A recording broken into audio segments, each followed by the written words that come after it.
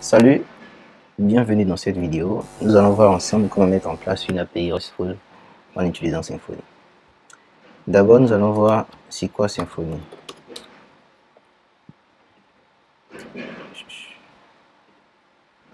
Ok, Symfony est un ensemble de composants PHP ainsi qu'un framework MVC libre écrit en PHP. Il fournit des fonctionnalités modulables et adaptables qui permettent de faciliter et d'accélérer le développement d'un site web. Voilà, dans cette vidéo, il s'agit essentiellement de, de, montrer comment mettre en place une API avec euh, Symfony. Il ne s'agira pas d'entrer dans les détails et puis expliquer euh, chaque élément ou chaque composant de PHP ou de Symfony. Donc, euh, sans plus tarder, nous allons commencer.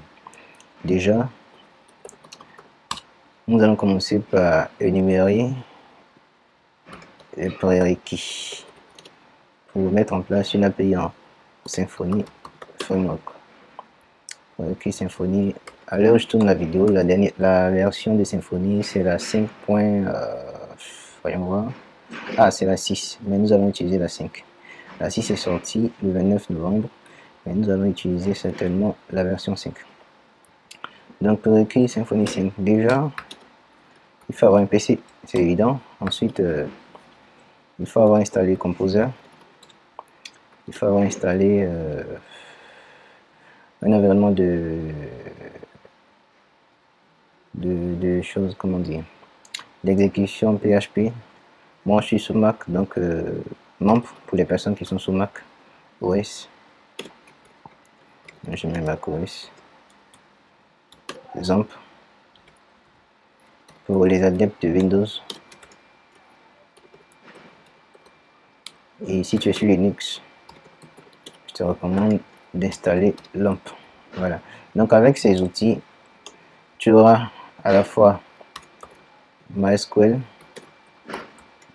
PHP. Je te recommande la version 7.4 euh, minimum. Donc 7.4 ou supérieur. Voilà. Et je crois que tu auras quoi encore? Bon, déjà les deux c'est suffisant. Donc juste après ça, il va te falloir installer le binaire de Symfony.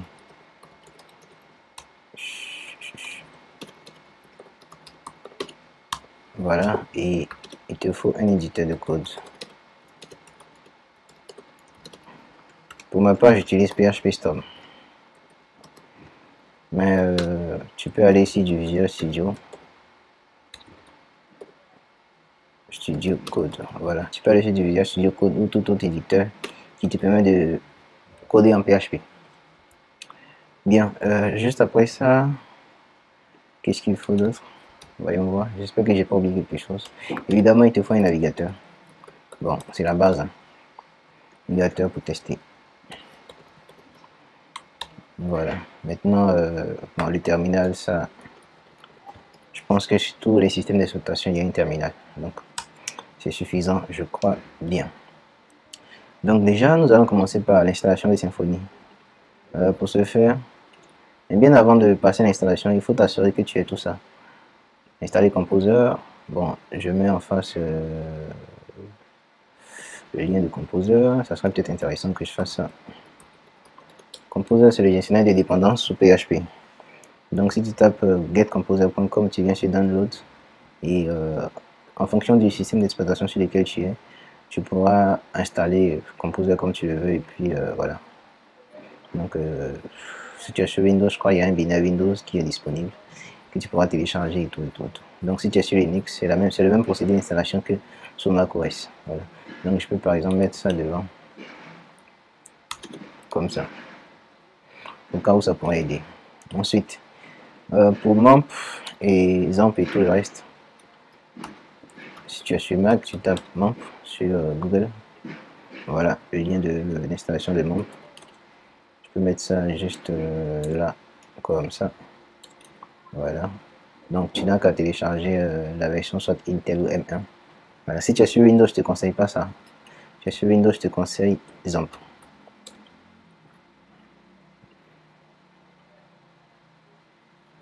je te conseille exemple avec euh, Windows. Tu peux juste télécharger ça là. Et voilà. Donc je mets juste le lien en bas. Et si tu es sur Linux, c'est sur le même lien. Si tu es sur Linux, n'as qu'à télécharger XAMPP for Linux ou bien euh, voilà, LAMP, ainsi de suite. Donc, comme je disais, tu auras, tu auras avec euh, MAMP, XAMPP ou, LAMP, tu auras, euh, comment dire, je crois que j'ai inversé ici, c'est plutôt Linux comme ça, et puis LAMP là.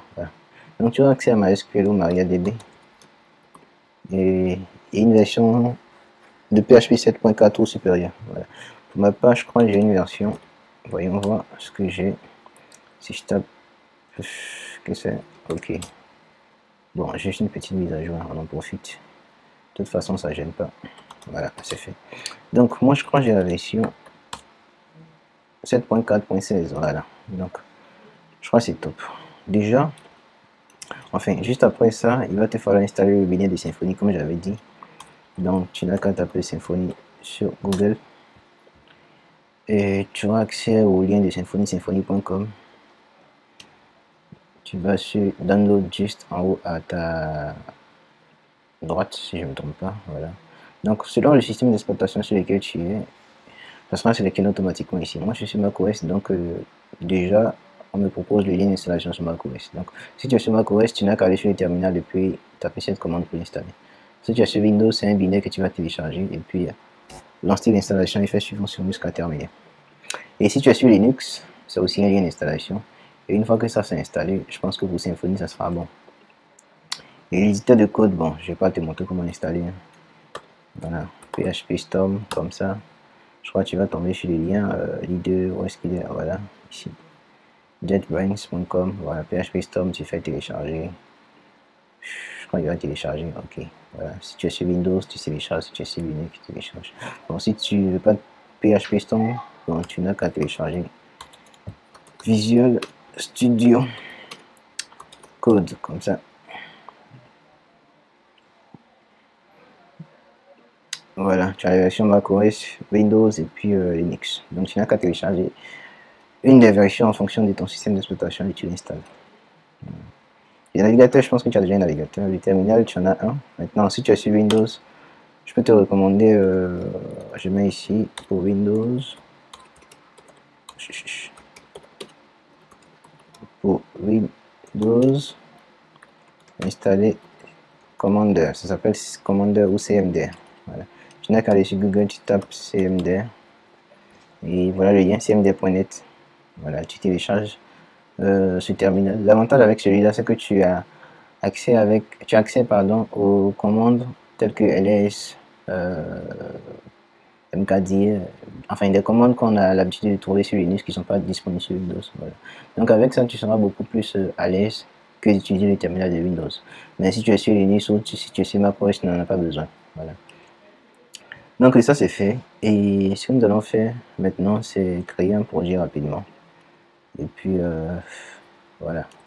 Moi j'ai déjà installé tout ça, donc je n'ai pas à refaire l'installation avec toi.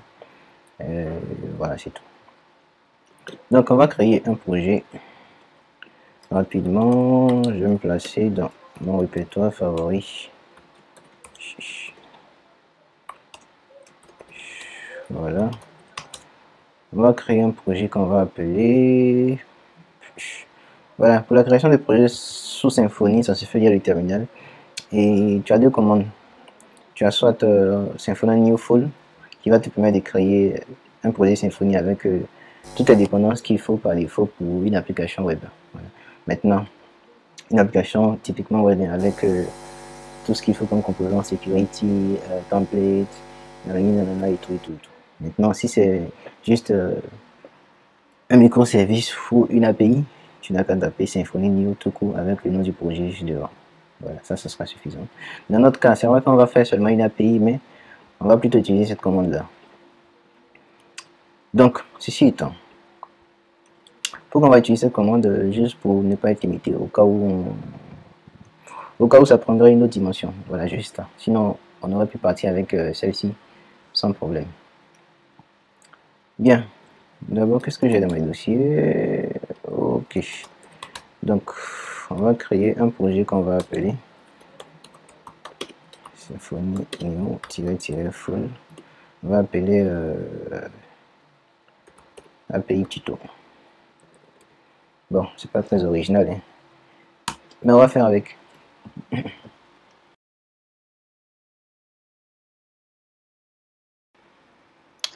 Ok, le projet est créé.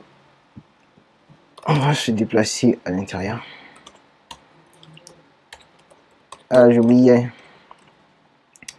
Il te faut aussi installer Git pour la gestion du versionning.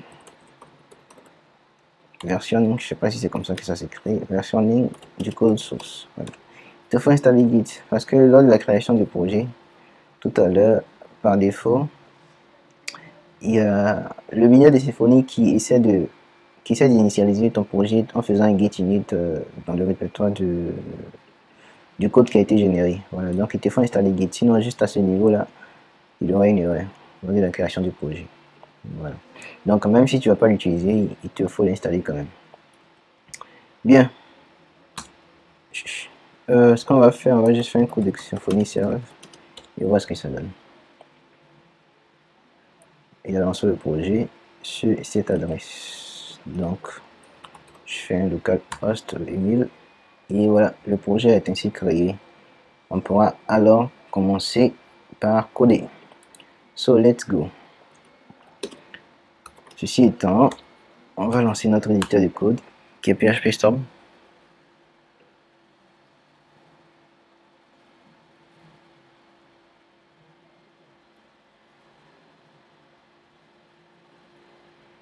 Va ouvrir le projet rapidement.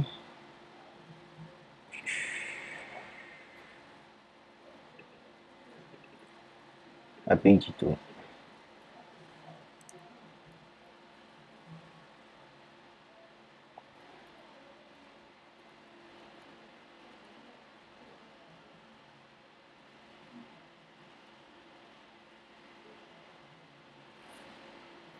Donc là, il change les dépendances, enfin l'éditeur change les dépendances et quand ce sera bon, on pourra commencer. Donc en attendant, on va voir un peu ce qui a été généré dans le code source. On a d'abord un dossier bin qui, va nous permettre d'exécuter des commandes sur le projet, savoir Symfony Console, Neopack, enfin Symfony Console, ceci, cela, Symfony Console, ceci, cela. on a PHP init à l'intérieur du bin qui va aussi permettre de gérer les tests unitaires, enfin d'exécuter les tests unitaires on a un dossier config qui contient toutes les configurations liées au projet. Après ça, on a un dossier migration pour le versionning de, de la base de données, on va dire ça comme ça, qui sera euh, modifié à chaque fois qu'on avance sur le projet. On a un dossier public qui d'abord sert d'entrée à l'application qui qui est, euh, qui est développée. Et à l'intérieur, on pourra par exemple créer un dossier qui va contenir tout ce qui est asset au projet, à savoir CSS, JS, ainsi de suite. Même si pour l'instant on est, on est censé créer que des API.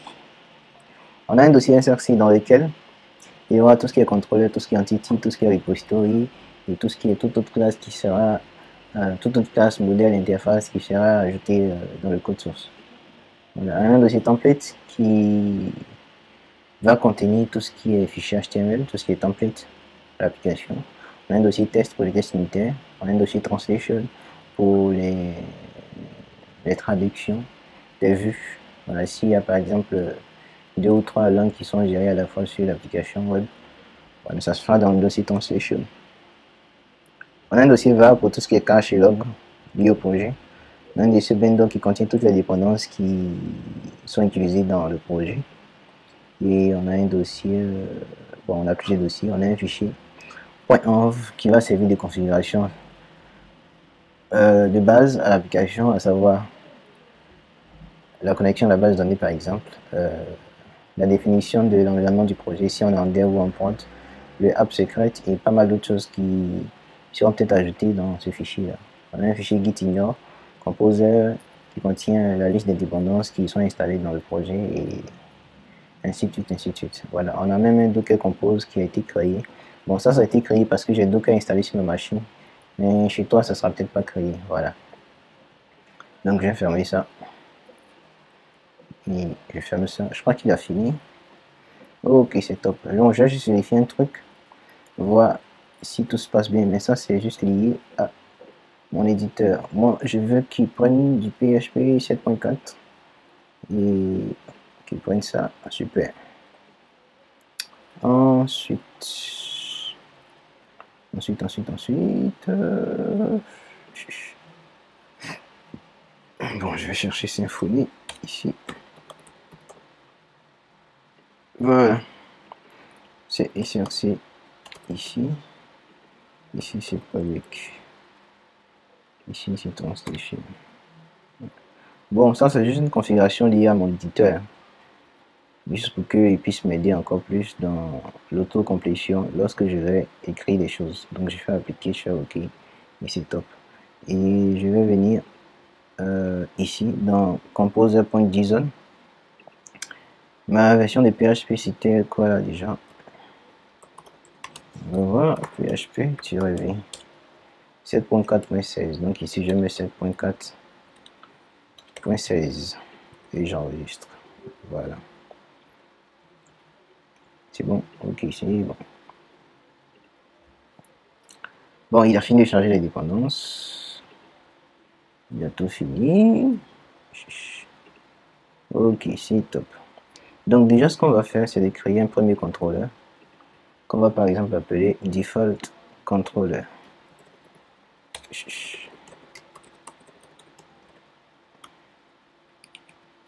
Donc on peut créer le contrôleur à partir d'ici, soit en ligne de commande. Moi je don't ask, add, ok. Extend abstract controller. J'ai même pas vérifié quelle version de Symfony m'a généré. Voyons voir.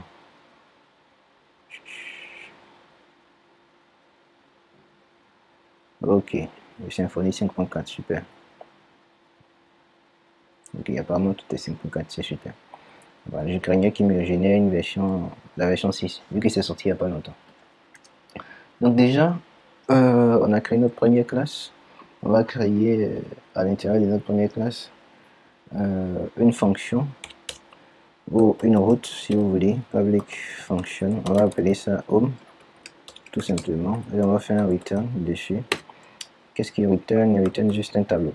Bon, je fais un new JSON response qui retourne rien avec le code 200.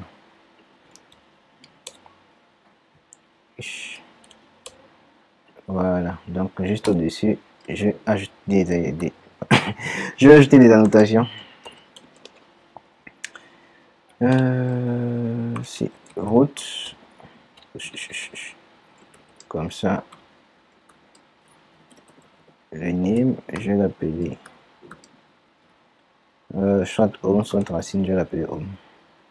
Et je vais importer ce package là. Il faut prendre Symfony Component Route Annotation Route. Voilà ce qu'il faut prendre et via mon terminal, j'ai fait un coup de symphonie serve pour exécuter le projet. Voilà, je viens dans mon navigateur, j'actualise et c'est super. Voilà, donc je n'ai plus la page par défaut de Symfony qui était là. Juste parce que j'ai créé une route slash, si tu veux. Voilà, comme ça. Donc c'est pareil. Super. Donc, juste à peut par exemple mettre un petit message. Comme ça. Euh, message.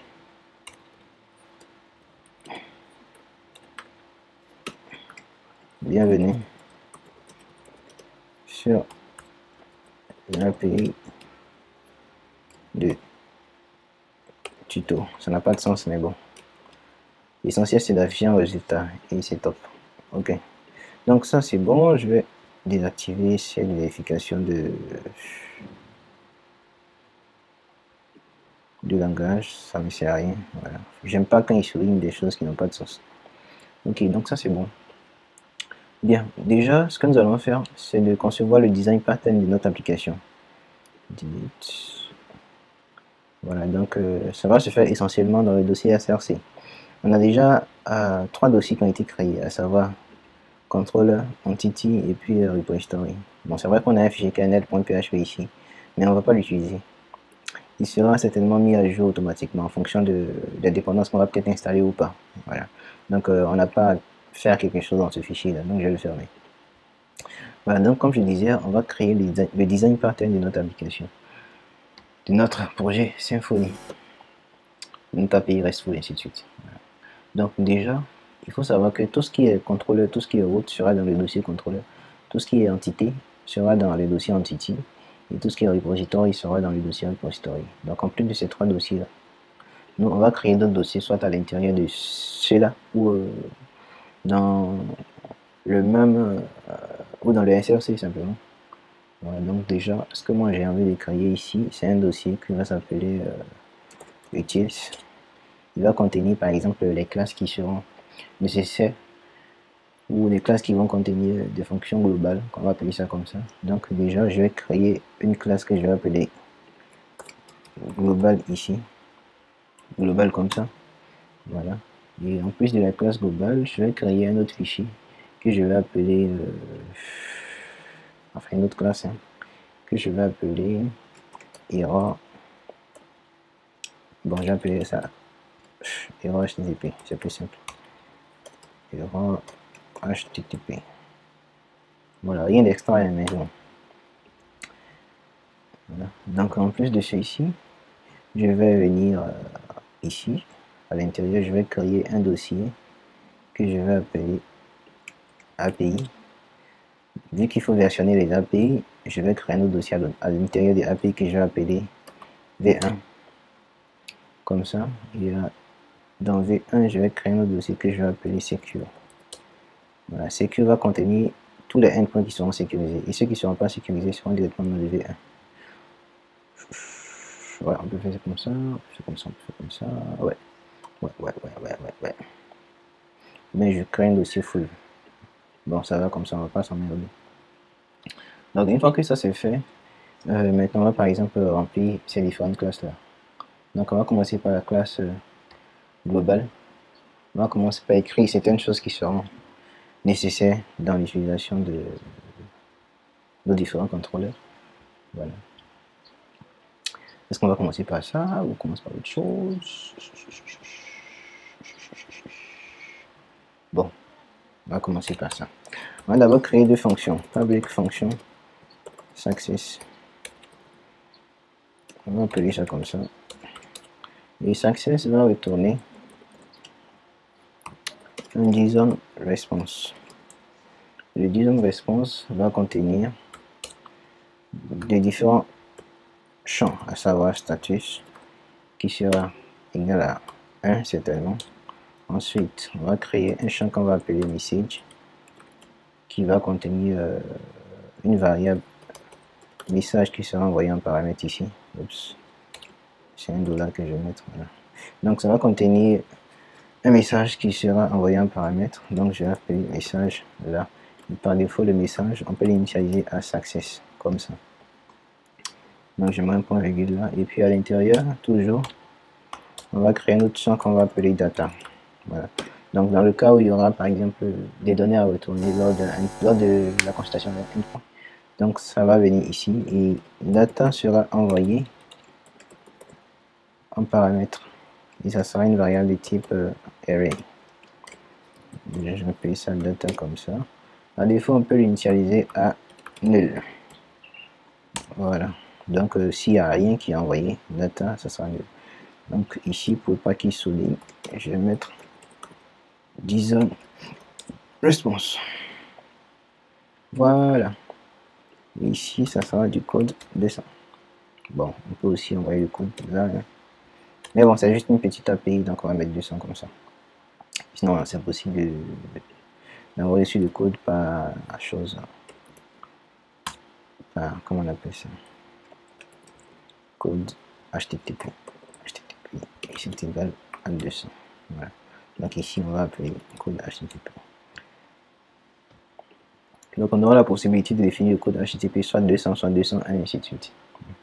Et on va copier cette même fonction, la dupliquer comme ça. Sauf que ici, ce sera pour tout ce qui est erreur. Et erreur, par défaut, on va mettre 501, comme ça. Et euh, erreur, il n'y aura pas de data dans l'erreur il y aura juste un statut par exemple qui est égal à 0 et le message euh, pour l'instant, ça peut rester là comme ça. Donc, il n'y a pas de data. J'efface ça. Et 500, ok. Ici, c'est error. Super. Et je crois pour l'instant, c'est bon. Mais on va revenir sur ça. On va revenir sur ça. Bon, je vais aller dans celui-là. Ici, je vais créer des constantes. Public const que je vais appeler error. Ça, on va l'utiliser tout à l'heure, juste après l'avoir écrite. Comme ça, il va contenir un message qui est par exemple error. Il va contenir un code d'erreur que je vais mettre 500 comme ça. Voilà. Et ça, qu'on vient de créer, on va l'utiliser tout à l'heure dans la fonction qu'on a créée récemment. C'est-à-dire dans la fonction qui se trouve ici. Voilà. Donc, ici, on voit qu'on a mis message comme ça. Mais euh, en paramètre, il prendra pas tout ça. Il prendra plutôt une variable de type array. Array, pardon. qu'on va appeler... Euh, on va appeler ça comment? On va appeler ça error comme ça. Voilà. Et par défaut il sera égal à error http error voilà. Et du coup ici ça sera error comme ça. Et on va pointer sur le champ message donc euh, on va voir. Juste pour gérer les erreurs hein. parce qu'on sait jamais. Et là pardon ça c'est code Juste pour gérer des erreurs. Au cas où ça c'est pas renseigné ou ça c'est pas renseigné ici. Pardon, au cas où ça c'est pas renseigné ou ça c'est pas renseigné. Il va prendre erreur comme ça ou 500. Donc ça c'est bon. Donc déjà on a deux différentes fonctions qui vont nous servir dans le contrôleur. Et ici par exemple, faire un néon, response et tout ça, on va plutôt faire, euh, bon, on va d'abord instancier ça. Donc, euh, on va faire un private global comme ça. Global égale. Pardon. On va créer un constructeur. Public function.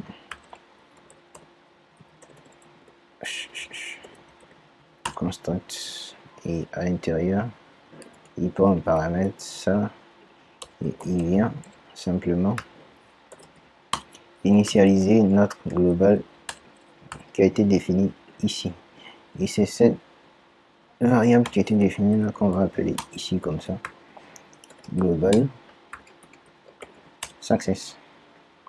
Du coup, si on a quelque chose à envoyer, à envoyer pardon, en paramètre, ça sera toujours notre message. Comme ça, bienvenue.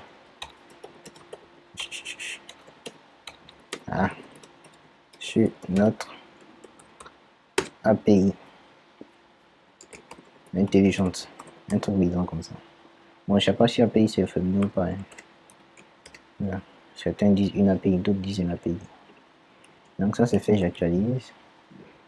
Voici, il n'y a pas d'erreur, si on n'a pas manqué un truc, et voilà, c'est super.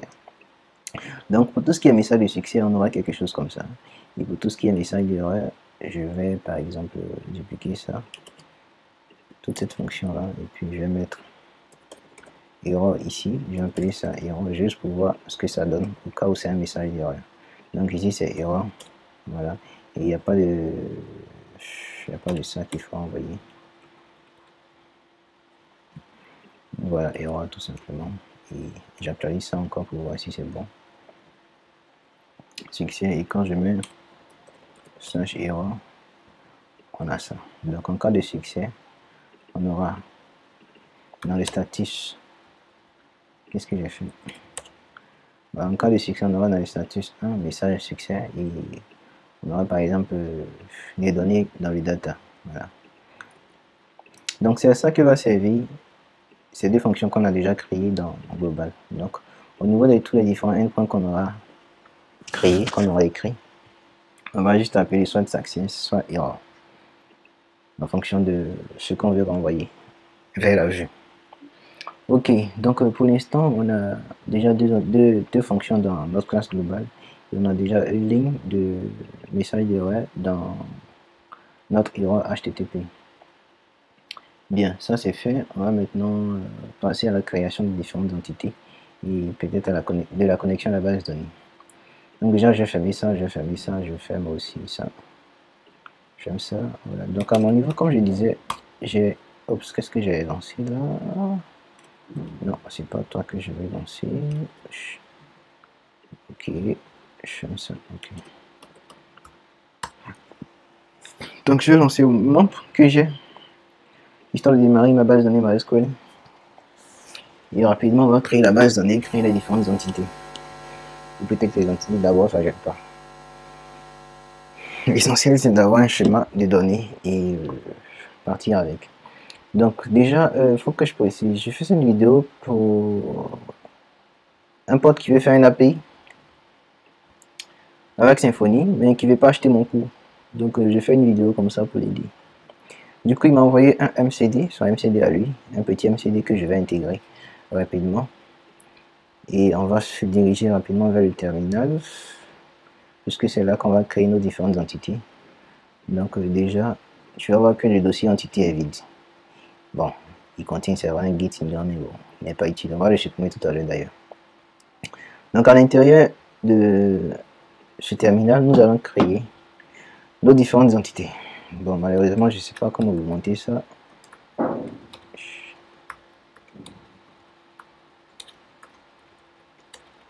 Je ne sais pas.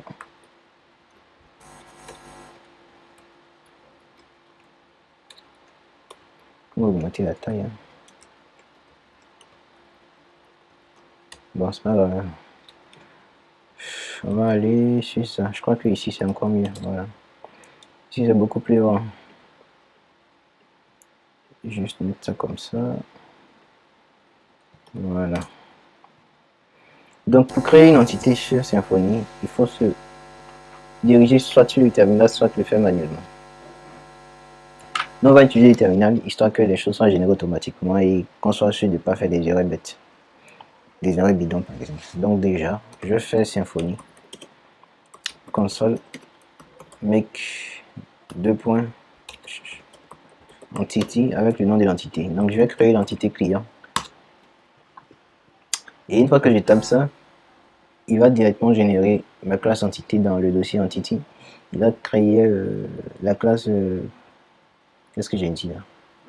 Il va créer la classe client dans le dossier entity. Il va créer la classe client repository dans le dossier repository. Et ces deux fichiers là sont liés. Ces deux classes sont liées.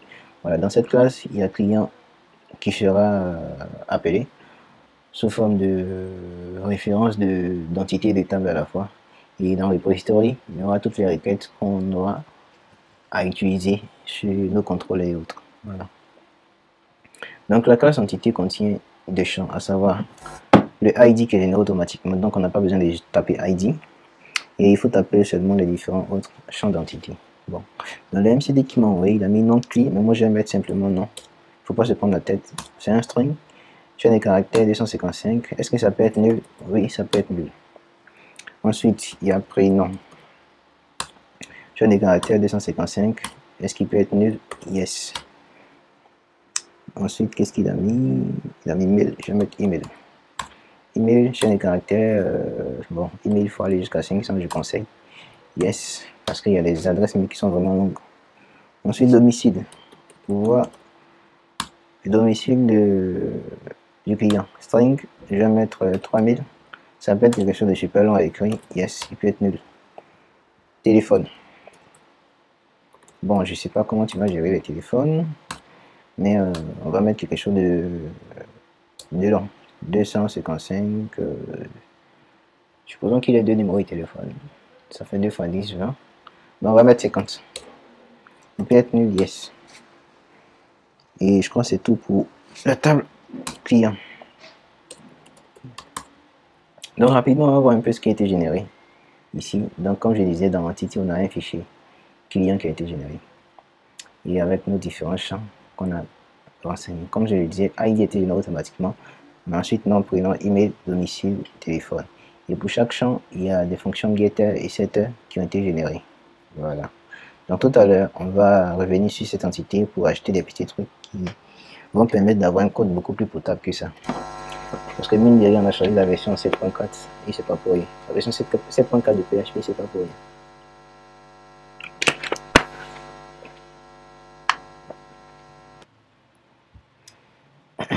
Bien, on va continuer avec notre deuxième entité. Euh, qu'est-ce que j'ai créé? Bon, du, pour le coup, il y a seulement 5 tables, donc ça va prendre du temps. La deuxième table qu'on va créer, c'est la table produit.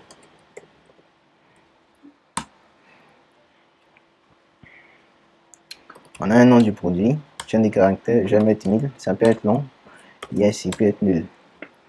On a un prix du produit qui est pour le coup un float. Est-ce qu'il peut être nul? Yes. On a Bon, il a mis stock prod, je sais pas ce que c'est. Certainement pour voir si le produit est encore en stock. Je sais pas comment il gère ça, mais je mets stop quand même. Stock prod underscore. Euh, c'est un entier, donc on va mettre integer. Être nul, yes. Il a mis quoi description? Ok, description. Description du produit euh, pour le coup, on va mettre du texte. Voilà, histoire de ne pas se limiter à une taille de chaîne de caractères. Yes. Et c'est tout pour produit. On va ensuite créer une autre table qui est facture. Donc, comme je le disais, j'ai un cours sur Udemy qui est disponible qui montre un peu comment créer une API REST avec Symfony. Et c'est un cours qui est pas euh, beaucoup plus pas à pas, qui explique les choses beaucoup plus simples, qui te montre aussi euh, comment utiliser chaque composant jusqu'à la fin. Voilà, c'est beaucoup, c'est beaucoup moins rapide que ce que je suis en train de faire en ce moment. Et si tu passes par là, je te conseille d'aller jeter un œil et voir si ça t'intéresse. So, on continue avec euh, nos différentes entités. Donc, j'ai facture et j'ai date. Donc, je mets, oups, je mets date times. Yes, il peut être nul. J'ai le montant de la facture. Je vais mettre un float. Yes. Je sais pas pourquoi il a mis E. Date et E. On n'en a pas besoin puisque au niveau de la date j'ai mis un détail donc on n'a pas besoin de spécifier l'heure en fait ici on aura la date et l'heure à la fois et ensuite on a quoi? On a ok on a l'ID du client qui migre ici du coup ce qu'on va faire on va mettre fk client comme ça et en lieu place de string et tout on va mettre relation voilà il relation avec quelle table? C'est ce qu'il demande donc on met client une demande, c'est quel type de relation Pour le coup, on sait qu'un client peut avoir plusieurs factures. Une facture appartient à un seul client. Du coup, on va mettre un many to on. Et si euh, pour toi c'est un peu difficile de choisir, voilà, tu as une description ici qui t'aide un peu. Donc on te dit par exemple pour many to on, c'est quoi? Une facture est reliée à un client. Et un client peut avoir plusieurs factures. Donc tu choisis mini to on. On to on, bon, une facture à un seul client, un client appartient à une facture à un seul client et un client à une seule facture. Donc many to many, c'est-à-dire une facture qui appartenir à plusieurs clients. Et plusieurs clients peuvent être euh, sur la même facture. Et ah, qu'est-ce que j'avais dit? Ici C'est on to many, c'est plutôt l'inverse de many to on. Et le dernier c'est on to on, une facture qui appartenir à un seul client ainsi de suite. Donc pour le coup, nous, on va choisir many to on et on va mettre yes Yes, yes. C'est facile, hein? Et c'est tout pour la table facture. Ensuite, c'est quoi ça?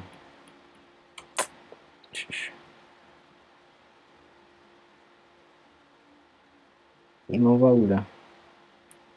Bon, je crois qu'il m'envoie ailleurs. Symphonie, console, make entity. La prochaine table qu'on va créer, c'est Détail facture. C'est une table qui va contenir les détails d'une facture. Sur cette table,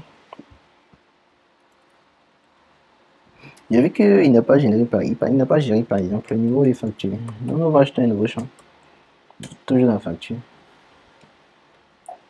Et voilà, si je tape facture, il va me dire que l'entité existe déjà. il va me demander si je vais acheter des nouveaux champs. Oui. Donc ce que je vais acheter, c'est numéro facture. Donc je vais mettre numéro. Histoire de gérer un peu euh, niveaux de facture. Ce sera les types string. 100, ça suffit. Sinon 50. Je suis pas sûr qu'il y a beaucoup de clients. Le ça peut être nul. Je tape entrée pour terminer. Voilà, donc on va créer une table qui va s'appeler détail.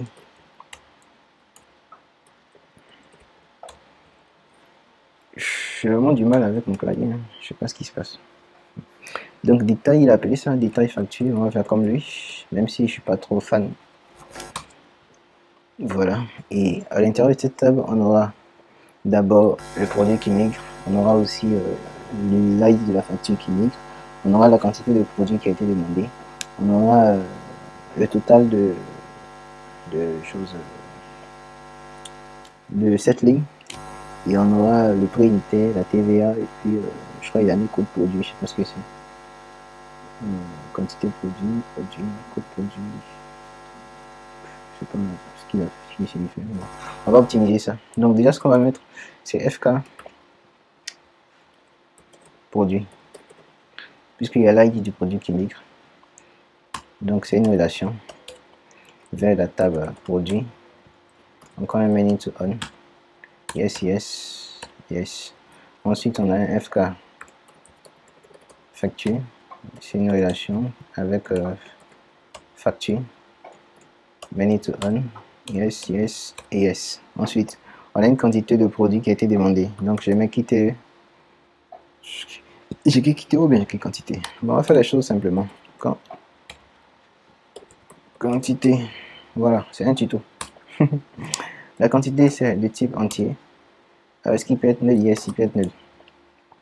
C'est vrai que j'aime j'aime mettre oui, oui, oui, il peut être nul, mais je te recommande pas ça. Si je mets yes, yes ici, c'est parce que je sais qu'au niveau de au niveau de mes différents euh, codes sources, je vais, gérer, je vais gérer tout ce qui est nul, tout ce qui n'est pas nul et tout ça. Voilà. Donc, j'ai mis euh, quantité, je vais mettre total. Mm vrai qu'au niveau de la facture, il faut mettre total là-bas aussi. Euh, même si c'est une valeur qui sera calculée. Euh, le total, il y a petit. Base, null, database, yes. Ensuite, j'ai quoi? Je J'aurais dû mettre ça. Hein. J'ai pays qui est pris unitaire, qui est en float, du coup. Total, j'aurais dû mettre float. Pourquoi j'ai mis un Yes, c'est pas grave, on peut modifier ça depuis euh, la classe à l'intérieur. Donc j'ai TVA qui s'ajoute, qui est aussi float, il peut être nul. Et euh, moi je peux mettre code produit, hein. tout ça, tout ça. Je peux mettre par exemple description, juste au cas où il y a une description ajoutée. Description, voilà, ok, string, bien passé à 1000. Yes, yes, yes. Donc ça c'est bon. Ensuite, je crois que la dernière table à ajouter c'est RDV. Rendez-vous. Donc il a mis RDV comme ça. Donc il y a une date de rendez-vous qui est une date time. Yes, ça peut être nul. On a ensuite, euh, bon là c'est déjà là. On a je sais pas ce qu'il a voulu mettre SMS inscription. Bon, on va mettre quand même. SMS inscript. Inscription. String. Euh, c'est un SMS. Je vais mettre 1000. En principe, ça ne devait pas être un long texte. J'ai SMS rappel. Je suppose que c'est les SMS qui seront envoyés au client. String, je vais mettre 1000. Yes, il peut être nul.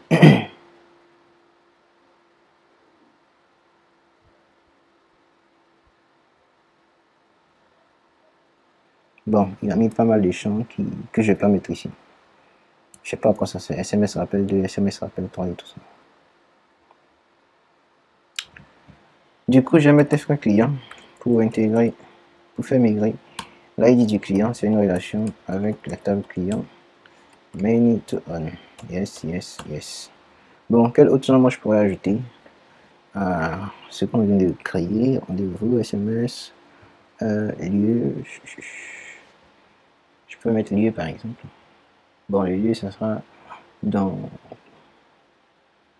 Ce sera l'entreprise, certainement. Je crois que c'est bon.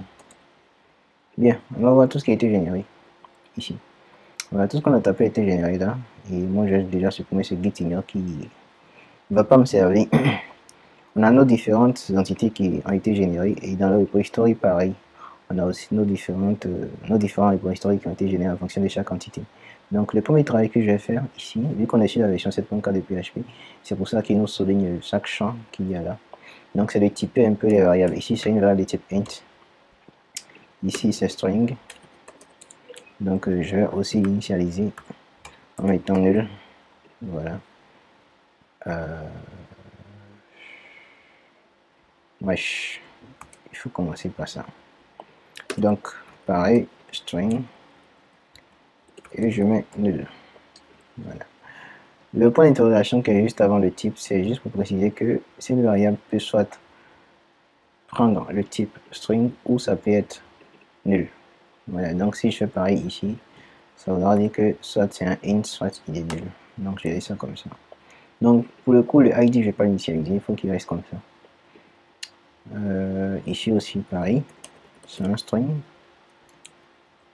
Repeat. Voilà. Le domicile, pareil. nul. Le téléphone, on va pas réinventer là-haut.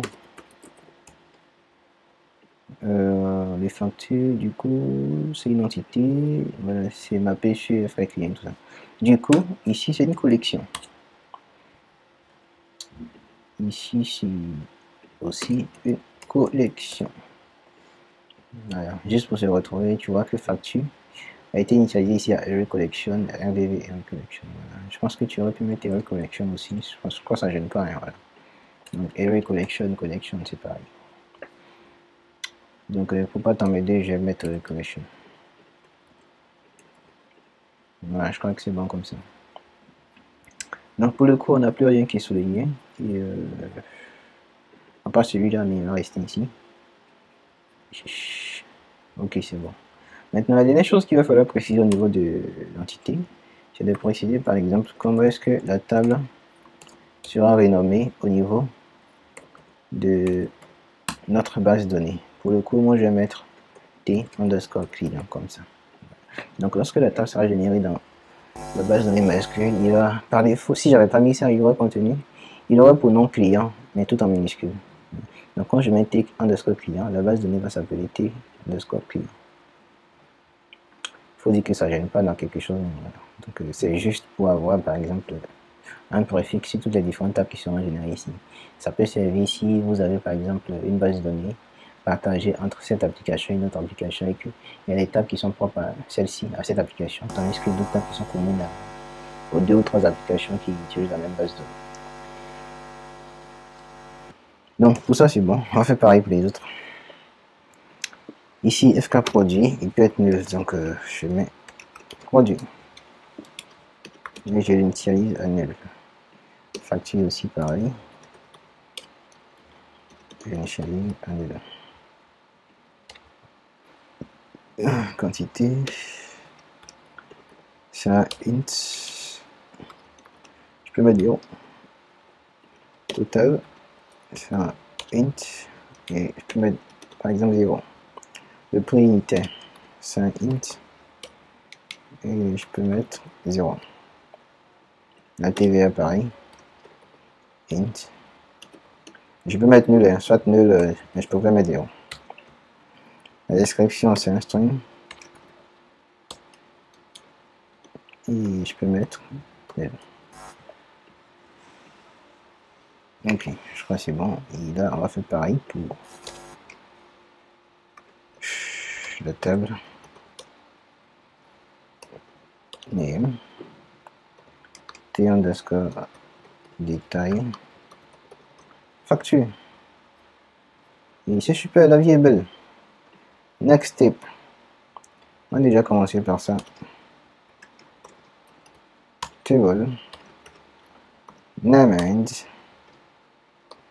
T underscore facture. Voyons voir si j'ai pas oublié une parenthèse quelque part là? Ok, c'est top. Il pourrait me gêner derrière au cas où.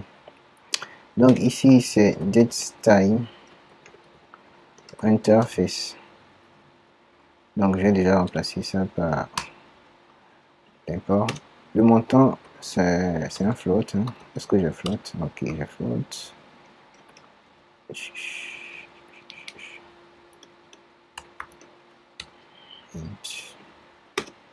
FK client, qu'est-ce que c'est? C'est client. Nul.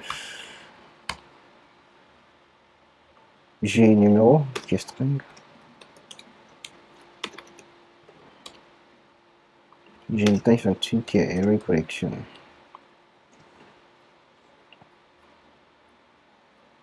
Et c'est bon pour celui-là. Nous sommes là.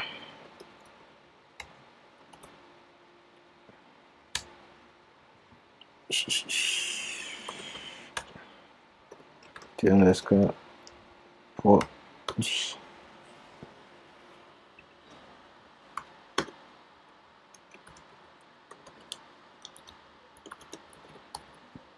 Ok.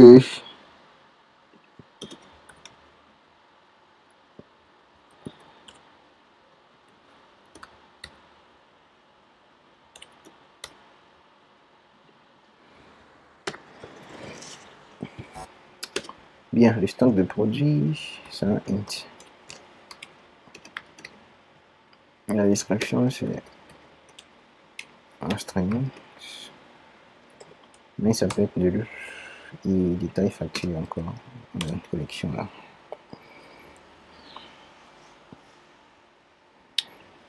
Ensuite, la dernière table qui est RDV.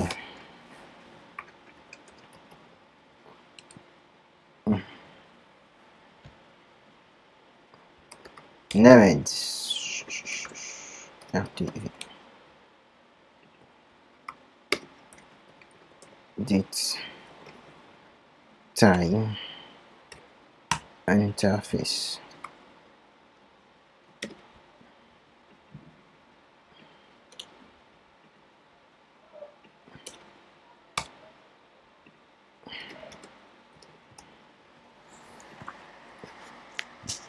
Euh, le stress qui était juste avant les détails là. C'était juste du fait que ici c'était pas importé et là il met euh, anti-slash comme ça. Donc moi ce que je lui ai demandé c'est qu'il enlève l'anti-slash et qu'il importe en faisant use type dans, dans la classe. Bon pour le coup ça gêne pas, hein, mais bon. Il fallait. J'aime bien ça. C'est tout. String. Nul. Mais ça rappelle encore un string. Ah, ça devient fatigant, il y a la même chose à répéter à chaque fois, mais bon. C'est dans la répétition qu'on devient excellent. N'est-ce pas? À force de répéter qu'on devient excellent. Bien, du coup c'est fini pour les différentes entités qu'on a créées. Et euh, je viens de fermer tout simplement. Et pour le coup, la repository, pour l'instant, on n'a rien à modifier à l'intérieur de ce qui a été généré. Voilà, donc certainement qu'on va utiliser des requêtes, euh, des requêtes par défaut de service entity repository, puisque chaque repository dépend de cette classe-là. Donc euh, on va certainement les utiliser. Maintenant, s'il y a des requêtes spécifiques à écrire, on pourra les écrire à l'intérieur de chaque repository. Et voilà, c'est ainsi. Alors, la première chose que je vais faire, c'est de créer la base de données. Bon, bien avant, il faut faire la chaîne de connexion. Je crois, a une chaîne MySQL qui, a été, qui nous a été envoyée. Pour le coup, à l'intérieur, on va renseigner nos différents, nos différentes, nos différents accès, pardon, et on va définir le nom de la base de données qui sera créée. Alors, database URL MySQL, puisqu'on est sur MySQL, on choisit cette ligne. DB user, je crois pour tout le monde c'est route. Mot de passe, chez moi c'est route, chez toi je sais pas ce que c'est. Euh, le port par défaut chez toi c'est 3306, c'est une si tu n'as pas changé. Chez moi c'est 8889. Le nom de la base de données. J'ai appelé ma base de données API tuto, underscore tuto comme ça. Et la version ça peut rester ici. Du coup, on va demander à Symfony de nous créer la base de données. Pour ce faire, c'est simple. Tu peux créer la base de données depuis la console ou depuis l'interface PHP Admin.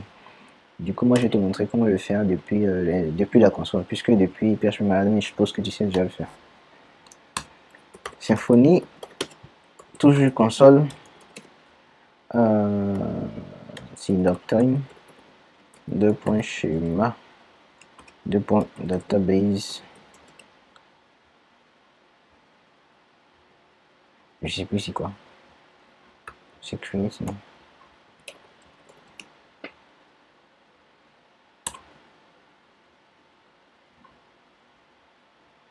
Ah, il y a un deux points. J'ai cru que ça faisait trop. Donc, doctrine, schéma de table script. Hmm? Ah non, pardon, je fais n'importe quoi. Il n'y a pas de schéma. Oups. Donc, doctrine de table script, tout simplement. Et voilà, il a créé la base de données API tuto. Mais la base de données contient rien. Du coup, ce qu'on va faire, on va lui demander. Bon, on peut se connecter. Hein. Oui, si elle se connecter à la base de données, voir. Je vais le faire depuis euh, ça. La table source. Je vais prendre MariaDB. Puisque c'est une base de données MariaDB. Localhost 3306 et 8889. User c'est route. Mot de passe c'est route. Database c'est API underscore Titan. Ah ouais, il y a un driver tout ça. Donc je fais un test de connexion ça devrait être successful. Et oui. Qu'est-ce qu'il raconte Recommend to use MySQL. Euh, bon, let's go. Comme tu insistes. Hein. Ok. Donc je fais plan, je fais OK. Et voilà. Pour l'instant, il n'y a rien de ma base. Ma base de données est vide.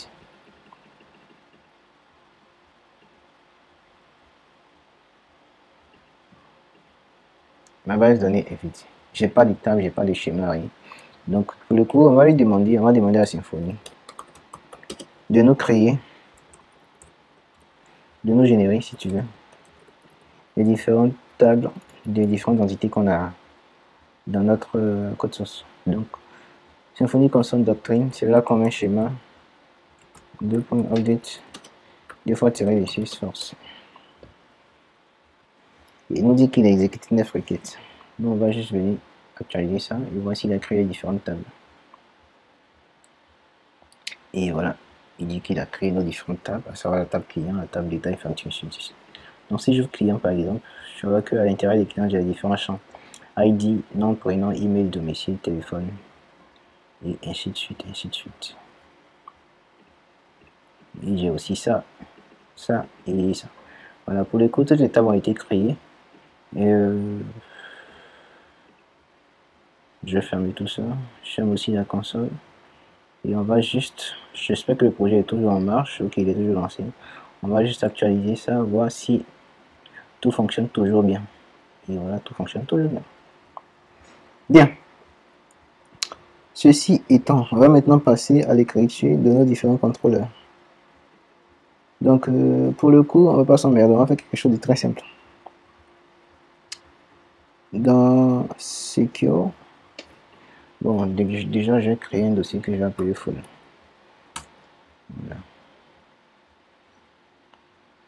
Dans Secure, on va créer, pour chaque entité qu'on a ici, on va créer un contrôleur. Sans trop réfléchir, hein, j'ai appelé ça client. Client contrôleur. Un autre que j'ai appelé euh, pourquoi j'ai appelé ça détail J'ai plutôt appelé ça facture. Facture contrôleur.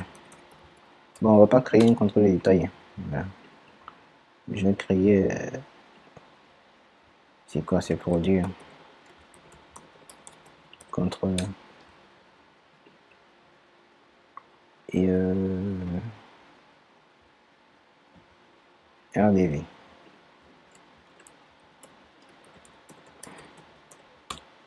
RDV contrôleur. Voilà. Bon, on va faire un truc. Il se trouve que dans API V1, on a mis directement full et secure.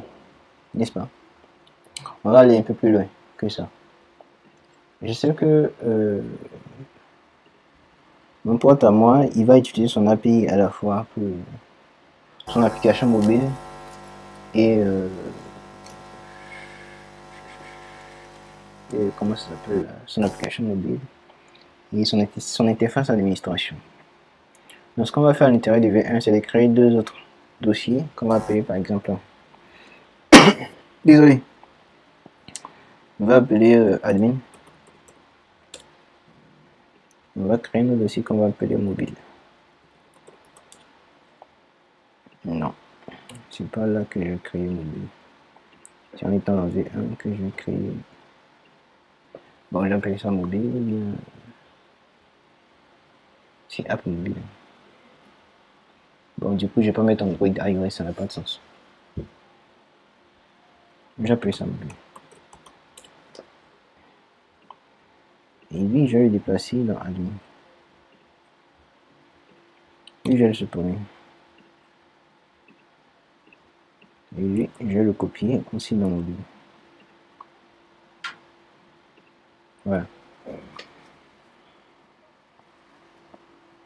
Donc, à la fois dans admin et mobile, on a deux dossiers, à savoir secure, secure. C'est bon? Ce qu'on peut peut-être faire, c'est de créer un contrôleur là, qu'on va appeler default controller. Et je vais rester là comme ça, je n'ai pas besoin de mettre. Bon, on va mettre un nom beaucoup plus parlant. Factor, rename, default, admin controller. Yes. Ah, tu me fatigues, hein, toi. ici, on va créer un autre qu'on va appeler. J'aurais dû mettre admin controller simplement. Je vais mettre mobile controller. Donc ici, je fais pareil. Je vais renommer ça admin controller pour faire moins long. Ok. Deux facteurs. Voilà. Donc à l'intérieur, j'ai ça. J'ai d'abord mobile controller et j'ai secure. Admin controller et. Donc, vu que ces deux ont été, ont été euh,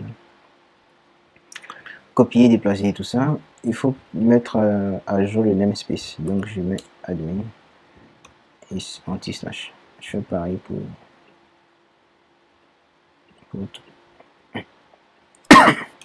Désolé.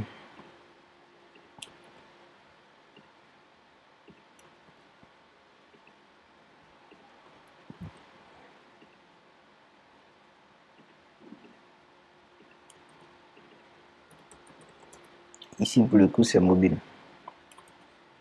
donc chaque contrôleur doit avoir un namespace correct. Sinon, ça va générer des erreurs.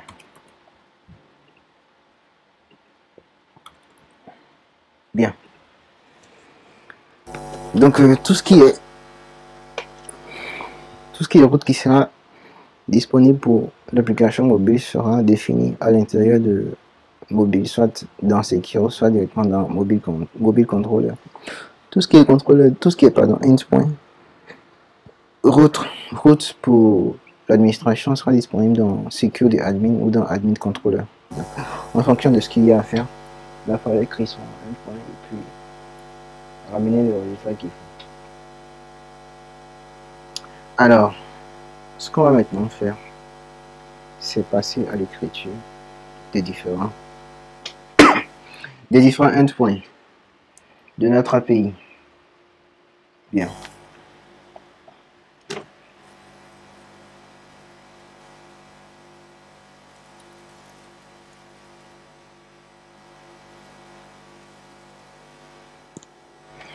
Commencer par l'administration.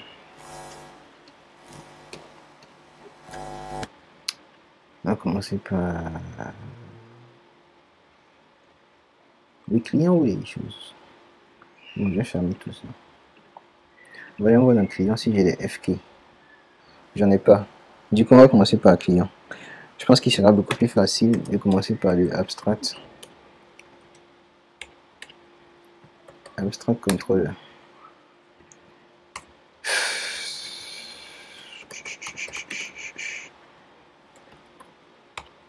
Il faut pas oublier d'importer globals. Voilà, de faire un public function construct. Je sais pas pourquoi il met jamais avec ce construct là.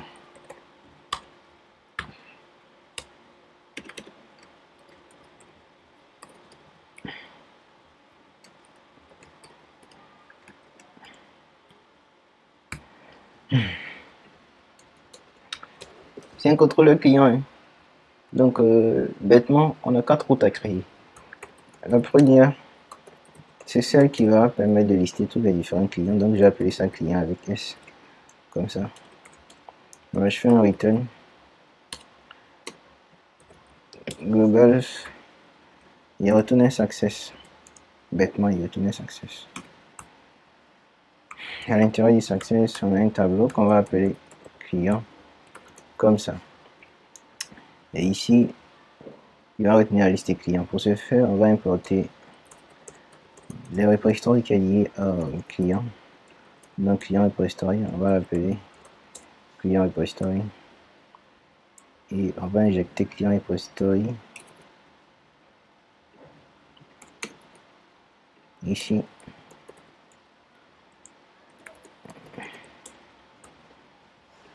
Et on va appeler client repository là. On va faire un find all avec un point une Ici, il retourne du disons response. Et il faut définir la route sur laquelle elle sera disponible. Du coup, je fais route.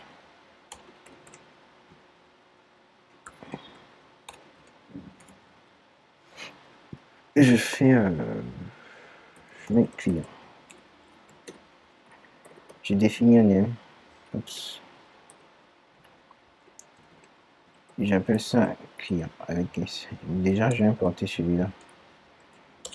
Voilà. Et là, j'ai bien envie de définir les méthodes par lesquelles ça sera disponible. Et pour ce faire, il faut écrire méthode comme ça.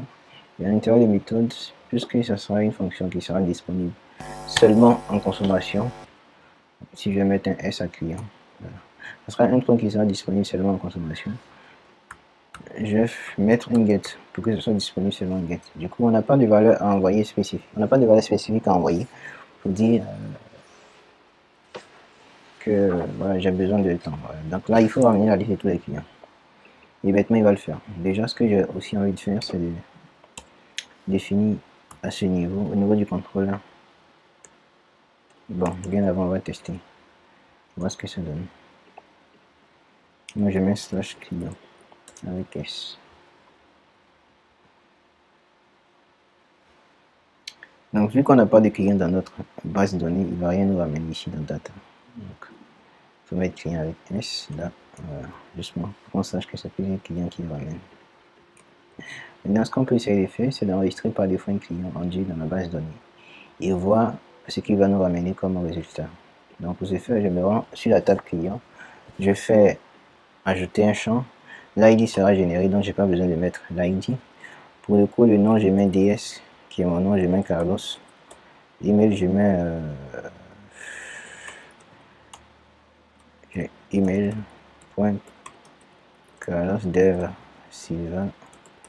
Dev Silva. Tu habites où Côte d'Ivoire. Même si c'est un peu vague, Abidjan. Téléphone, mets plus des fois. C'est 10 fois 25 si je me trompe pas. Je mets 0758. 0647. C'est mon numéro de téléphone. Tu peux m'envoyer un SMS assez sympa. Ça me fera plaisir. Une fois que c'est enregistré, je viens là, j'actualise, voici va me ramener ce client.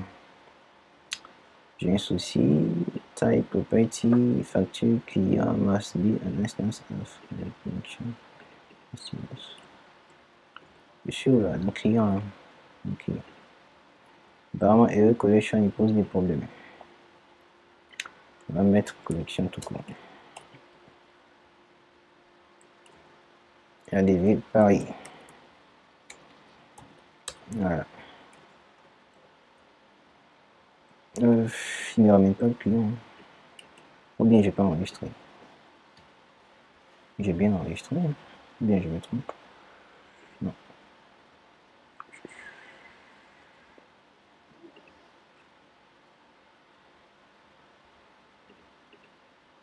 Bon, c'est normal qu'il ne me ramène pas ça.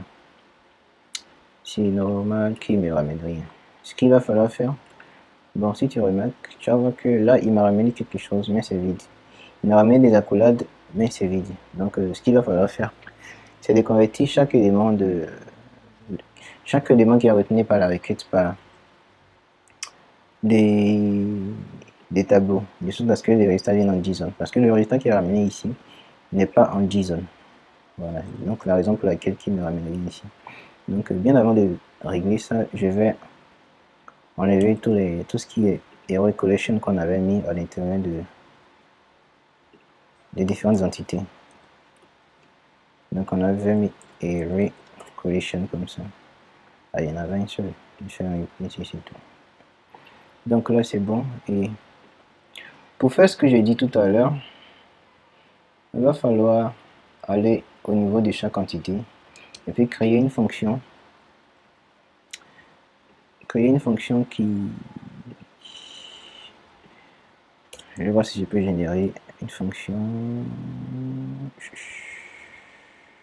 generate get set constructor test copyright. Bon. On va créer une fonction ici au niveau de chaque entité qu'on va appeler public function. On va appeler ça to array comme ça et array va retourner un tableau qui sera facilement lisible au format JSON qui sera facilement euh, converti au format JSON lors de, des différents retours qu'on aura à faire. Donc à l'intérieur de ce tableau, on va préciser par exemple l'ID de notre table. Je mets ID. Et ici, je vais mettre euh, nos différents champs, c'est quoi? C'est ID, nom, prénom. Donc ici, je mets nom. Et je mets nom là. Prénom. Je mets prénom.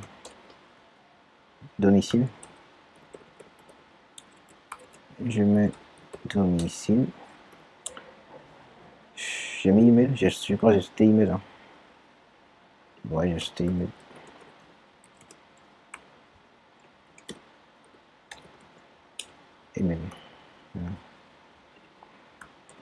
Je continue avec téléphone. Comme ça. Et bon, pour facture, pour l'instant, on va, va rien mettre. Euh, donc ici, je termine par un point virgule. Et on va préciser qu'ici, il retourne un tableau. Du coup, on revient là. Et celui-là, on va le baliser dans remap de sorte à ce qu'on puisse faire la conversion euh, assez facilement. Donc on va baliser ça comme ça. Il va prendre euh, une entité client. Qu'on va appeler client comme ça. Et là, je fais ça. Je fais un return client. To array comme ça. J'ai comme ça là? Donc il va falloir que j'importe celui-là voilà. Donc c'est la raison pour laquelle il ne m'aidait pas là. Voilà. Donc ça c'est fait. Maintenant on va actualiser ici. Voici nous retourne maintenant le client qu'on a dans notre base de données. Et effectivement il nous retourne le client. Donc si on avait par exemple des clients je vais ajouter un client dans notre base de données et j'ai fait un plus, là il est généré automatiquement. Le nom, je vais mettre euh, Dupont. Le prénom, je vais mettre Mathieu. J'espère que c'est comme ça on l'écrit. L'email, je vais mettre email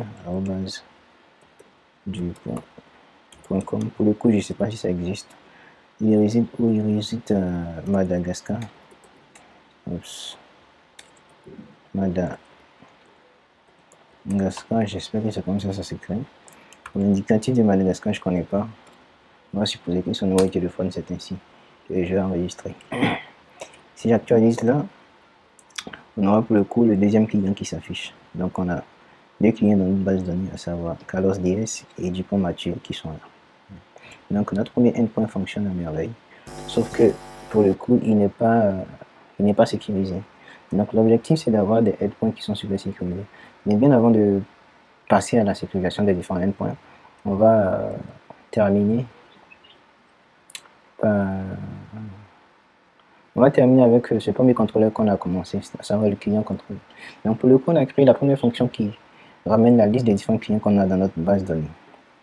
On va créer notre deuxième fonction. Pour le coup, je vais copier tout ça, je vais coller et la deuxième fonction va ramener un client particulier. Et ce client sera. Ce client sera ramené par en fonction de, de quoi par exemple? Le prendre en fonction de son ID, ça serait pas mal je pense. Puisqu'on n'a pas de code client. N'est-ce pas? Ouais, on va faire en fonction de son ID. Du coup, je vais déclarer, bon, déjà, je vais injecter request qui vient de Symfony Component HTTP Foundation. Et je mets request comme ça. Du coup, je vais faire que id égale request query and get. Donc ici, je mets id. Donc id sera envoyé en paramètre get. Du cette méthode sera disponible en get. Donc pour le coup, je vais actualiser ça. Et ici, c'est pas un tableau qui sera retourné, mais c'est plutôt euh, c'est plutôt une valeur bien précise. Donc je vais mettre un find. Bon, je peux mettre un find on by. Voilà. Donc je mets ID là et je mets dollar ID. Donc ça serait intéressant de faire ça comme ça. Mais pour les histoires de gestion des c'est mieux de déplacer cet élément ici et de mettre les une variable client, ensuite la signer comme ça. Et du coup, ici, on pourra vérifier si, par exemple, euh, si le client qu'on recherche a été trouvé. Donc, en faisant ça, en utilisant une opération ternaire, et fais client. S'il était trouvé, on convertit le résultat qu'on a obtenu en array en utilisant la fonction intégrée. Sinon, on retourne nul, comme ça. Voilà. Du coup, euh, on va tester ça. On va vérifier si celui-là fonctionne toujours s'il fonctionne, on va passer, il fonctionne. On va passer au deuxième en faisant ça comme ça. Euh, comment ça s'ajoute là? Voilà. ID égale à 1. Pour qu'il nous ramène un client bien précis. Et voilà, là, il nous ramène un client. Donc, si je mets 2, si je mets ID est égal à 2, il va nous ramener le second client qui est du pont. Et si je mets une ID qui n'existe pas, ça va 220, 234, il va nous ramener client est égal à 0 donc ici, on peut euh, faire des sortes que je remets par exemple un autre message de REST access ou pas. Et voilà, ça dépend. Donc si le client est nul, ça veut dire que le client n'existe pas. Ok, c'est bon? Ok, euh, c'est bon pour ça, c'est bon. Ok, on va s'arrêter là pour ces deux endpoints. On va passer au suivant. Le prochain endpoint qu'on va créer, c'est celui qui va nous permettre d'enregistrer un client. Donc on va l'appeler save voilà comme ça et là je vais déjà commencer par définir la route de notre fonction save et ça sera disponible sur save tout simplement vous inquiétez pas on va uniformiser tout ça très bientôt donc je mets save ici et ça sera disponible méthode euh, le save, c'est quoi? C'est pouce tout save? poste. Je crois c'est poste. Hein. Je vais mettre poste. Donc cette méthode sera accessible via poste. Est-ce que les autres étaient accessibles via get?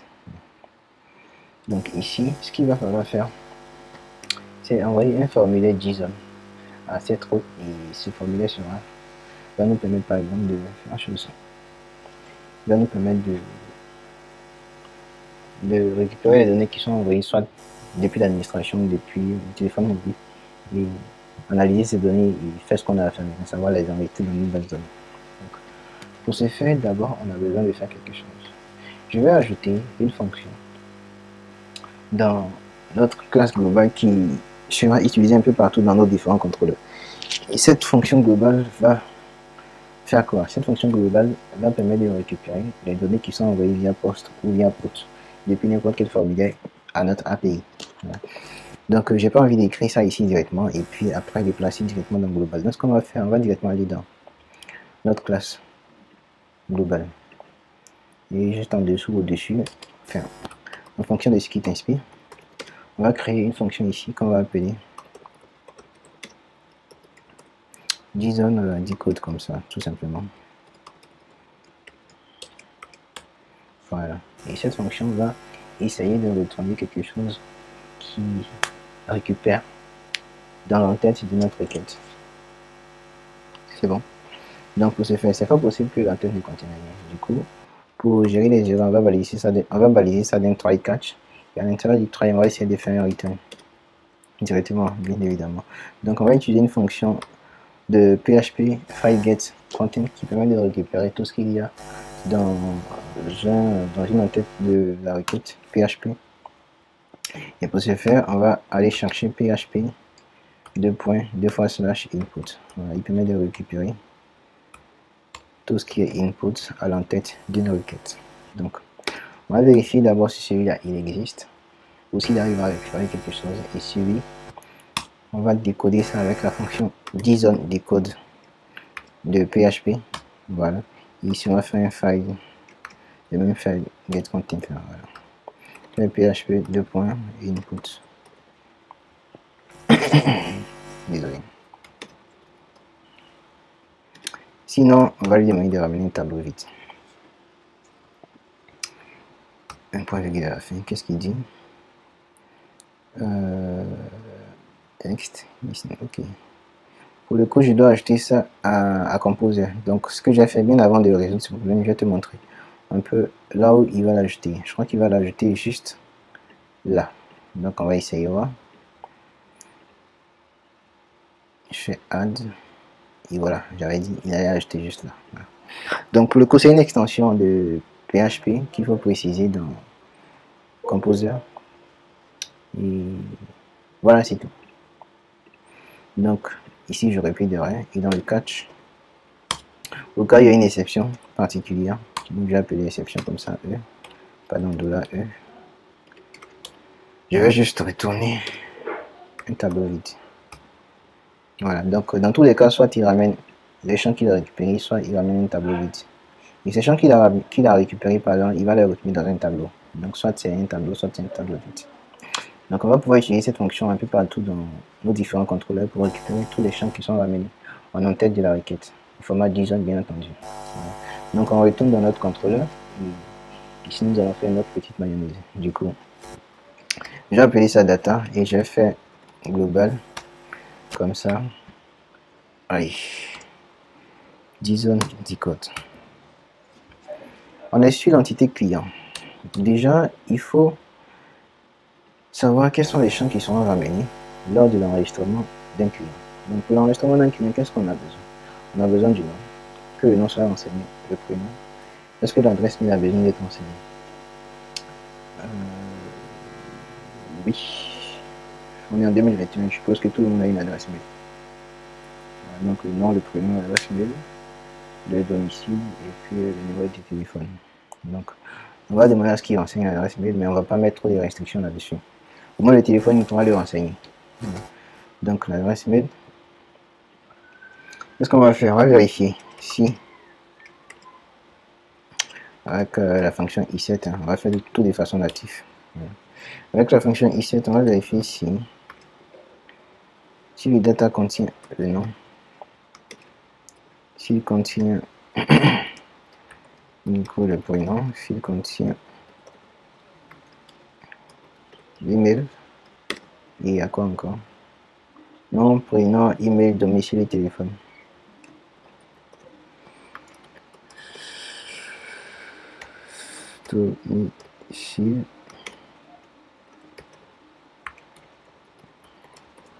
Contient le téléphone. Donc s'il ne contient pas tout ça, on va lui faire un return avec euh, global. Et c'est là qu'on va utiliser la première fois notre fonction error. Donc qu'est-ce qu'on va lui ramener comme erreur? On va lui ramener une erreur qui est beaucoup plus palpable. Donc on va lui déclarer une autre constante. Je vais dupliquer ça du coup. Je vais appeler ça forme error. Et comme ça, je vais mettre forme invalide. Et pour le coup, ça sera une erreur 400. Donc euh, ici, je vais mettre erreur HTTP forme error. Voilà. Sinon, si tout s'est renseigné, bah, ça veut dire que on peut rapidement créer notre client. Donc, je fais client comme ça. Ensuite, je fais client set non. Et je fais data. Oups. data. Non. Et je peux enchaîner hein. set prénom data. Prénom j'enchaîne toujours. Set. Email. Pour le coup, si la personne n'a pas d'adresse mail, il va falloir enseigner un tiré de 6, juste quelque chose qui, qui fait que le champ n'est pas vide. Voilà, j'ai pas envie de, de bypasser, j'ai pas envie de ne pas faire des restrictions sur adresse mail, au moins une toute petite restriction. Pour dire qu'il doit renseigner quelque chose dans le champ adresse mail, ça serait intéressant. Donc ici, je mets email. Je fais un set domicile, oups, domicile, date domicile asset téléphone je mets une date. Téléphone. Et je pense c'est tout. Est-ce que j'ai une date? J'ai pas de date. Ce serait intéressant d'acheter une date de date d'enregistrement. Mais bon on va faire ça après. Bien. Ceci étant on va persister euh, tout ça. Euh, on va voir ce que ça donne.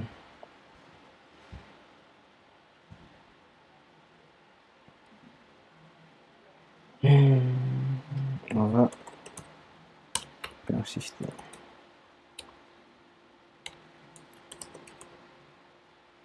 Ah bon? C'est interdit d'effet ça?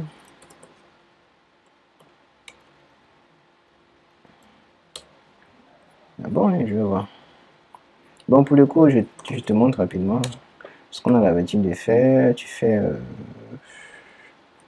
get doctrine, même si actuellement ce n'est plus recommandé. Get, de ce que je vois, plus recommandé. Get manager et tu fais euh, persist. Ensuite, tu mets client là. Ensuite, euh, tu fais un flash comme ça.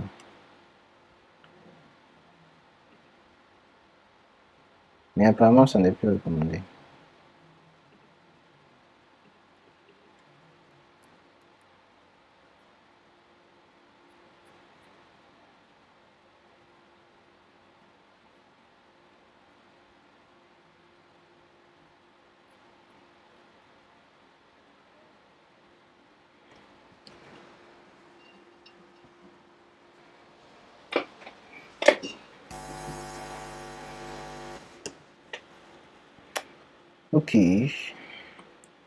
Donc en attendant, on va faire un return. Un return euh, global. Success. Et client.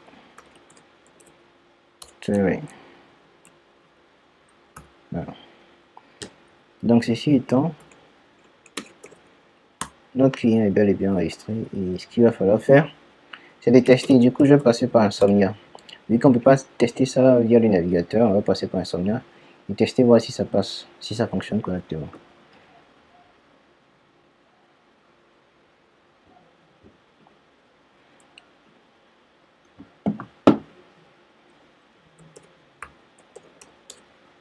À la place d'Insomnia, tu peux utiliser Postman, ça gêne pas.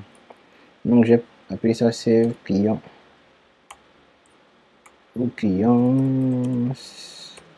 C'est un requête qui sera disponible en poste. Je mets un HTTP de point host ça c'est et ici j'ai besoin d'envoyer des données au format zone en précisant par exemple le name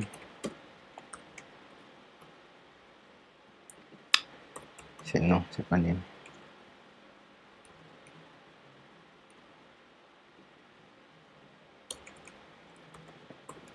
oui non.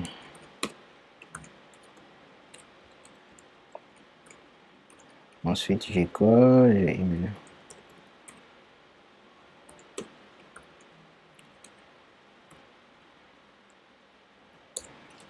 Ensuite, j'ai domicile.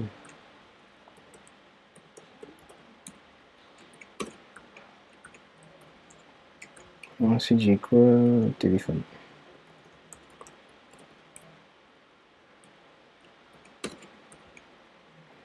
Voilà, donc au niveau du nom, qu'est-ce que je vais mettre? On va enregistrer nouveau. Déjà, on va tester ça comme ça, voir s'il va mener des Code notes. Oups, j'ai oublié de préciser le port dans l'adresse. Voilà. On voit ce qu'il va nous ramener comme un message, s'il a pu enregistrer ou pas. Effectivement, il a enregistré. Et euh, c'est pas cool qu'il enregistre comme ça. Il faudra qu'il vérifie quand même euh, si les chansons vides ou pas. Donc, euh, ici, qu'est-ce que j'ai fait?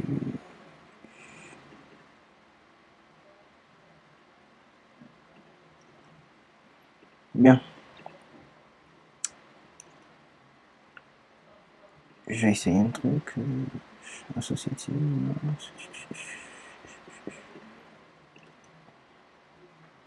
Bon, on va mettre un autre. On va, on va renseigner des données, voir ce qui va renseigner. Enfin, ce qui va enregistrer. Donc, au niveau du nom, il faut que j'invente un nom. De Fallo. Prénom. Euh, je sais pas. Email, on va supposer que la email.com. Domicile vie au Mexique. Téléphone plus. Moi, je connais pas l'indicatif du Mexique. Je fais envoyer. Il a comme réponse, il me dit qu'il a enregistré des favorites et elle a pour ID 4. Donc si je viens sur le navigateur que je consulte, vous allez voir que j'ai quatre données. Donc j'ai d'abord les deux premiers qu'on avait déjà enregistrés. J'ai d'abord celui qui a été enregistré avec les valeurs vides. Et ensuite j'ai le dernier qu'on a enregistré avec euh, des. Donc supposons ici par exemple que je ne renseigne pas le téléphone. Et puis j'envoie. Voilà, il va me dire forme valide. C'est la restriction qui a été faite ici.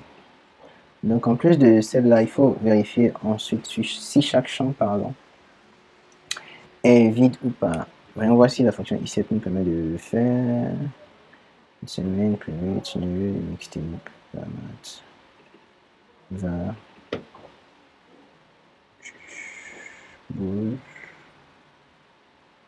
Ok.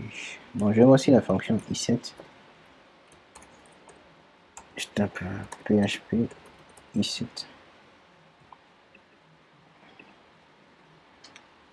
On va voir si elle nous permet de faire d'une pierre deux coups. Excellent, bon. Va, va, ici, je vais l'afficher.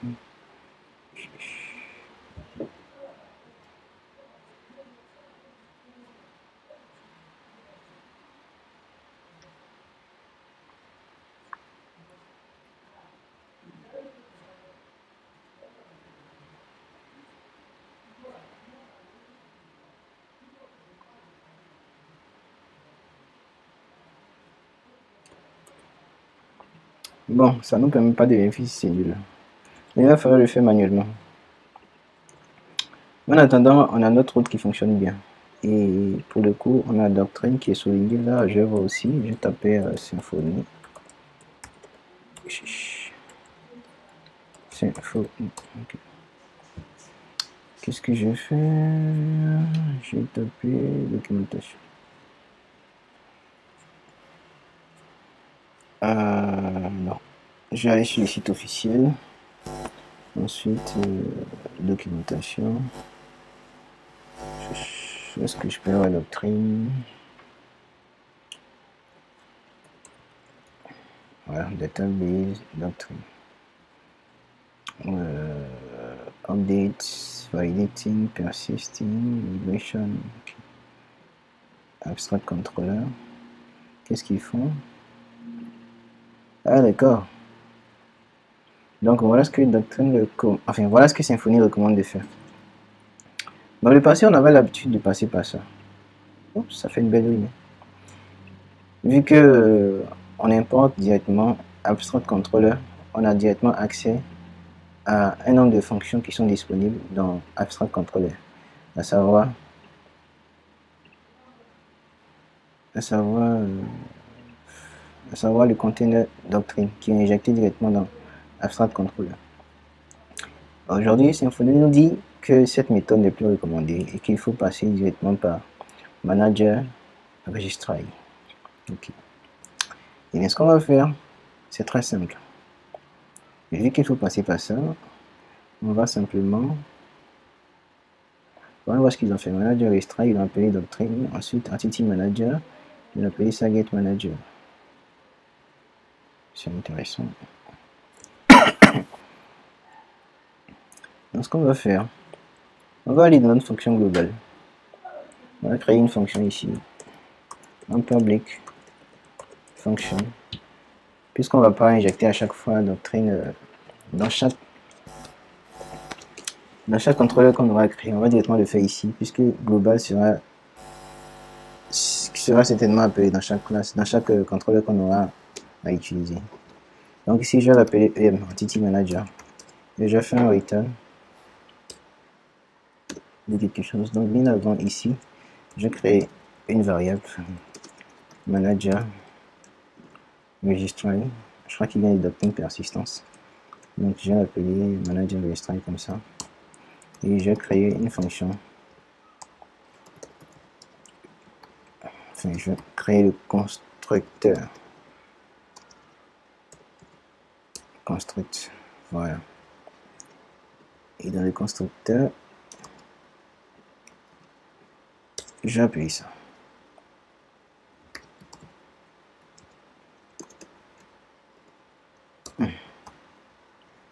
Et lui, il va retourner ça. Get Manager.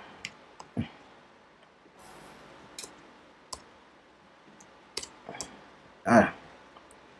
Ensuite, on pourra l'utiliser simplement ici, en faisant ça global et on n'a plus besoin de faire get manager. Et voilà c'est plus simple. Donc à la place de tout ça. On a ça. Et voilà c'est merveilleux. C'est merveilleux. Et ça va fonctionner toujours comme il faut. Du coup si je mets par exemple un autre nom comment mettre euh, qu'est-ce que je peux mettre euh, Wadigo. Je sais pas si ça existe, hein, Eric. Donc il s'appelle Eric, arrobas, email, Ivy, en Guadeloupe. J'espère que c'est comme ça qu'on écrit. Désolé si je si mal. Je crois que j'ai téléphone que j'ai manqué de mettre. Donc je vais mettre téléphone. Voilà. Je connais pas l'indicatif du pays, mais on va inventer un numéro comme ça. Succès. Et voilà, ça fonctionne très bien. Donc euh, si j'actualise, vous aurez notre dernier client qu'on a enregistré en peine qui est Wadigo, Eric, ainsi de suite, ainsi de suite. Bien, ça c'est fait. On a nos différents endpoints qui ont été créés, à savoir un, point qui permet de récupérer la liste des clients, qui permet de consulter un client en particulier et un autre qui permet d'enregistrer un client.